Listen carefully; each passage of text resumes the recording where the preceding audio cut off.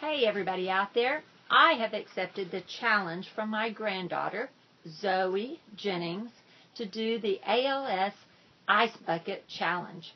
I challenged her to see if she even knew what ALS is. She told me that ALS, commonly known as the Lou Gehrig's disease, is a nervous system disease that causes muscle weakness and impacts physical functions.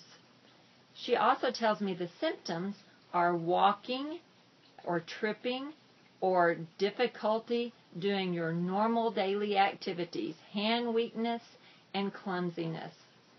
Her passion for this charity is that her youth pastor's mom died from ALS and she wants to show that she cares.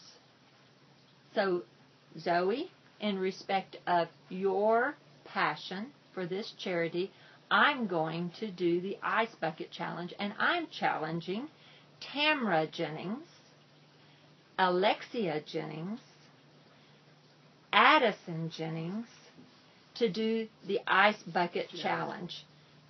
All right, let's put Jared Jennings on there too. Good idea, Poppy. Thank you Chloe. for the challenge. That over here. and we're going to put the phone far, far away, and we're going to do the. Oh! oh my God! I think it was cold.